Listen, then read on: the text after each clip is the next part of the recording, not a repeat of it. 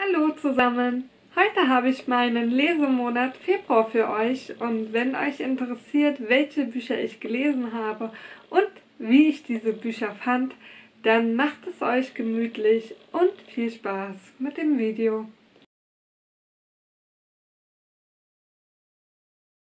Ja, ich habe im Februar nur drei Bücher gelesen, also nur ist gut.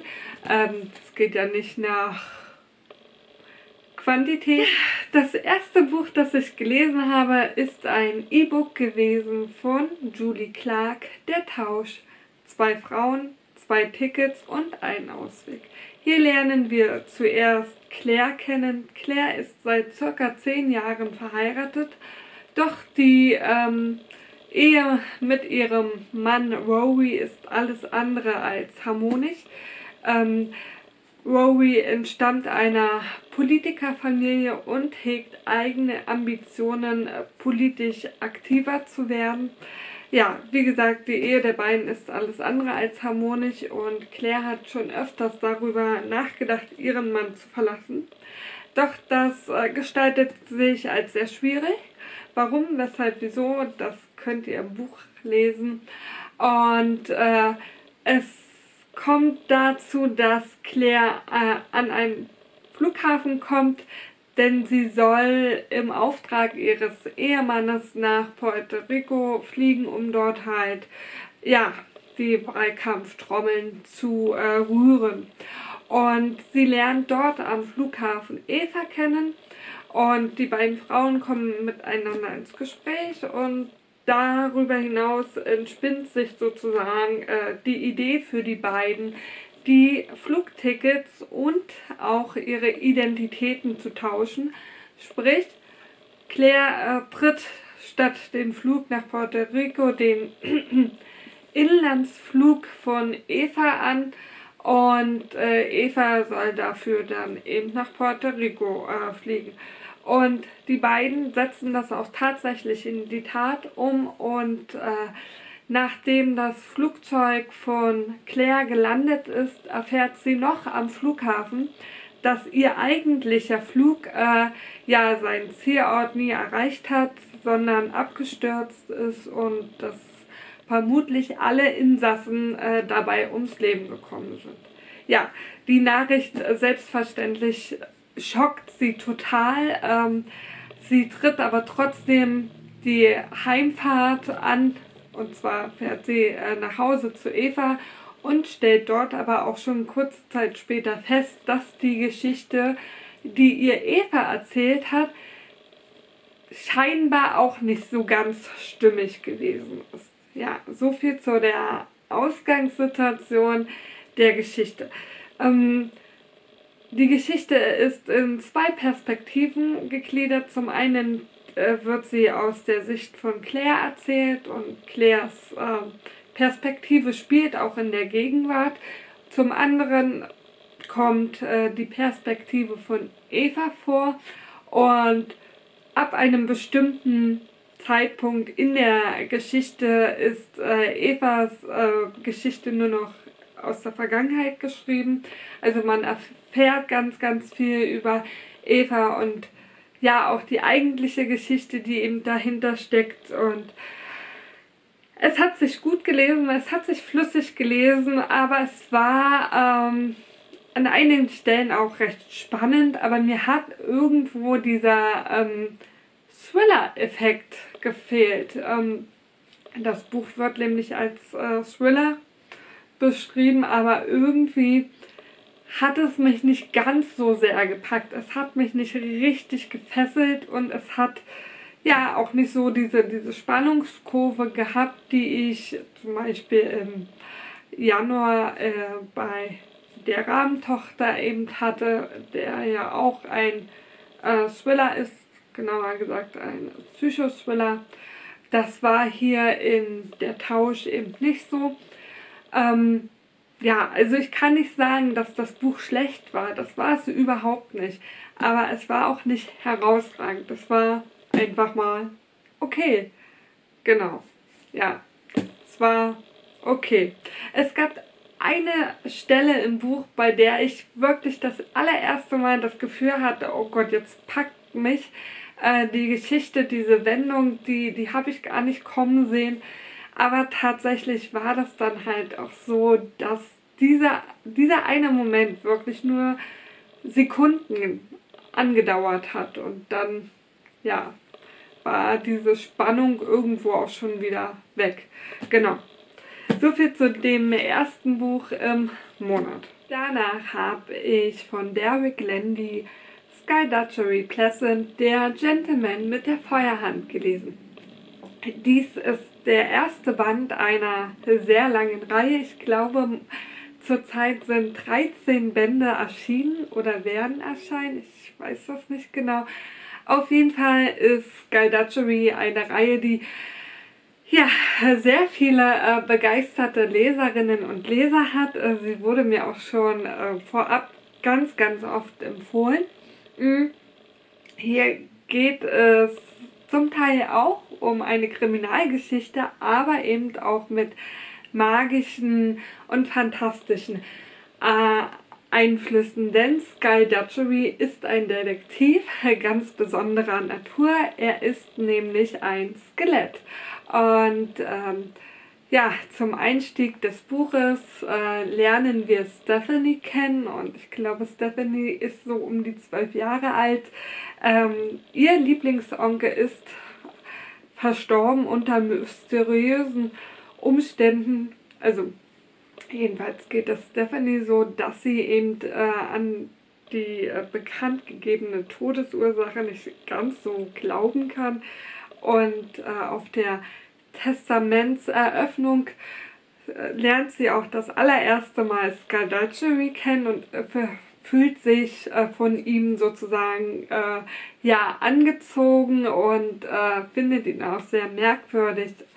Und im späteren Verlauf der ersten Seite trifft sie dann eben nochmal auf ihn, als sie nämlich im Haus ihres Onkels von einem ja, Mann angegriffen wird, der von ihr verlangt, dass sie etwas herausgibt, von dem sie gar keine Ahnung hat, ist das Sky Dutchery, der sie rettet und sie dann quasi mehr unfreiwillig in seine Welt äh, mit hineinzieht. Die Welt, in der es äh, ja, Magie gibt und in der es ein, ich muss mal ganz kurz gucken, ja gut, das wird hier nicht erwähnt, deswegen werde ich das, glaube ich, nicht äh, sagen. Genau, also es ist, wie gesagt, äh, mit dem ersten Band ein Kennenlernen der Welt von Sky Dutchery und es hat mir richtig äh, Spaß gemacht, es zu lesen.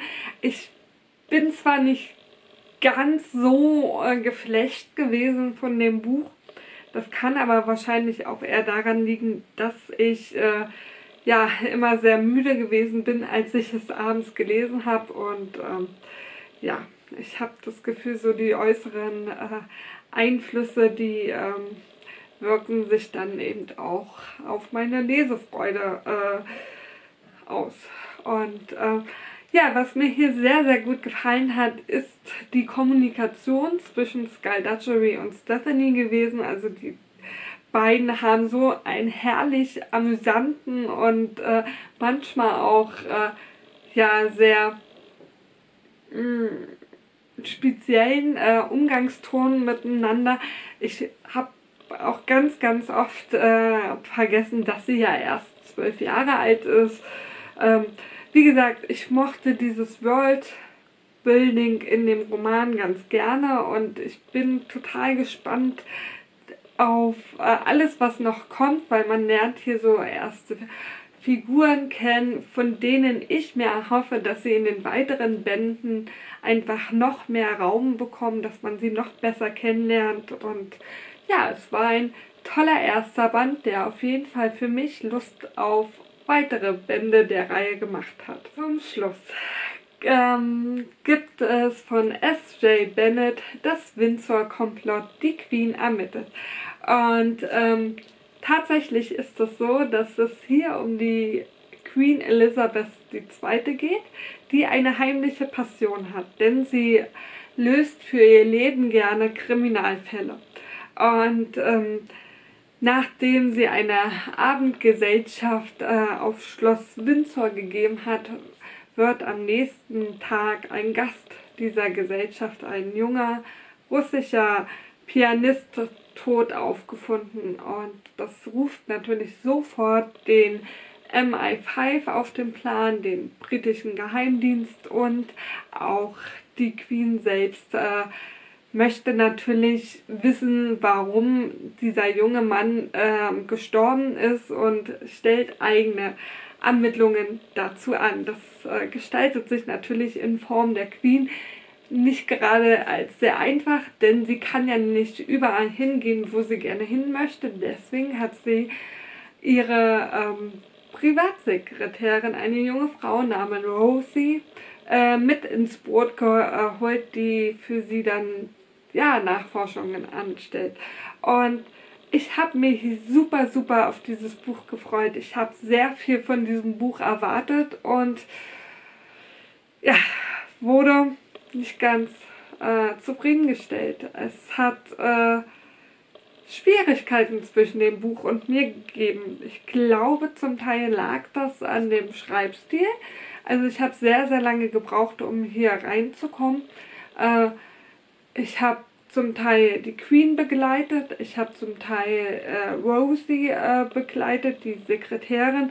Und ähm, ja, ich kam nicht so in die Schilderungen der Queen rein. Also sie wird als sympathisch dargestellt und äh, als liebe, nette, ältere Dame, ähm, so wie sie von außen gerne gesehen wird, aber sie ist auch unheimlich klug äh, natürlich. Und äh, ja, das, das fand ich schon ganz gut, aber ich bin, wie gesagt, irgendwie hat's. Ich, ich kann das auch gar nicht so gut in Worte fassen. Ähm, es hat irgendwie, glaube ich, an dem Schreibstil gelegen. Es gab aber so Nebensätze, die meiner Meinung nach eine bestimmte Betonung beim Lesen gebraucht hätten, um gut zu funktionieren. Das hat aber bei mir im nicht so gut funktioniert. Mm, ich habe eine Woche lang gebraucht, um ungefähr die ersten 100 Seiten zu lesen, weil ich auch wirklich, sobald ich gelesen habe, nach fünf Seiten schon keine Lust mehr hatte. Und nach einer Woche habe ich dann gesagt, nee, also irgendwie möchte ich das Buch nicht ganz aufgeben und ich möchte irgendwie ja schon wissen, ähm, wer hinter dem Tod des äh, jungen Mannes steckt und äh, habe dann halt auf und habe dann halt zum Hörbuch gegriffen. Das Hörbuch ähm, ist in einer gekürzten Variante ähm, verfügbar gewesen, wurde von Sandra Voss gesprochen und ich habe mit dem Hörbuch auch wieder von vorne angefangen und das war wie, wie, wie so ein Wandel. Also ich muss sagen, dass ich mit dem Hörbuch richtig gut klarkam. Dass hier das, was am Schreibstil mir Schwierigkeiten gemacht hat, beim Hörbuch richtig gut gewesen ist. Also die, die Queen kam mit ihrer Eigenart sehr gut rüber. Also ähm, die Hörbuchsprecherin hat das super, super gemacht und plötzlich war ich drin in der Geschichte. Ich äh, wollte dann wissen, wie es weitergeht, war hin und her gerissen zwischen, ich höre das jetzt als Hörbuch zu Ende oder ich lese es als Buch dann eben zu Ende. Ich habe dann tatsächlich, als ich mit dem Hörbuch an der Stelle angekommen bin, wo ich beim Buch stehen geblieben bin, habe ich ja versucht weiterzulesen, habe dann aber auch wieder gemerkt, so lesen, das klappt nicht, da bin ich wieder draußen und habe das Buch quasi als Hörbuch beendet. Und muss sagen, wie gesagt, als Hörbuch hat das super gut funktioniert. Das hat mich total unterhalten. Ich bin ein heimlicher Fan von Prinz Philipp geworden. Ähm, ja, das äh, war sehr amüsant. Seine ähm, die Dinge, die er dann so eingeworfen hat. Und ähm, ja, es ist ja der Auftakt einer Reihe und ich denke, wenn jetzt äh, weitere Bände auf Deutsch übersetzt werden und sie auch im Hörbuchbereich äh, weiter vertont werden, werde ich diese Reihe hier als Hörbuch weiterhören. Aber als Buch war das für mich nicht so schön. Leider. Ähm, ja, ich hatte sehr hohe Erwartungen, aber das Buch wird demnächst auf jeden Fall bei mir ausziehen. Ja, und äh, das war mein Hörbuchmonat. Ach, Quatsch. Das war mein äh, Lesemonat Februar. Und ähm, das war so ziemlich durchwachsen. Ich hatte jetzt nicht das perfekte Highlight gehabt. Äh, jedenfalls nicht als Buch zum Lesen, äh, sondern so doch ja zwei von drei Büchern, die eher so okay waren. Ja, so war halt mein Lesemonat. Wie war denn euer Februar? Hattet ihr tolle Bücher dabei? Hattet ihr Bücher dabei, wo ihr gesagt habt, ja, die äh, kann man mal lesen, muss man aber nicht unbedingt? Oder hattet ihr Bücher dabei gehabt, die ihr überhaupt nicht toll fandet? Schreibt mir das gerne in den Kommentaren und dann bedanke ich mich an dieser Stelle fürs Zuschauen. Ich hoffe, euch hat das Video etwas gefallen und wünsche euch einen schönen Tag. Tschüss!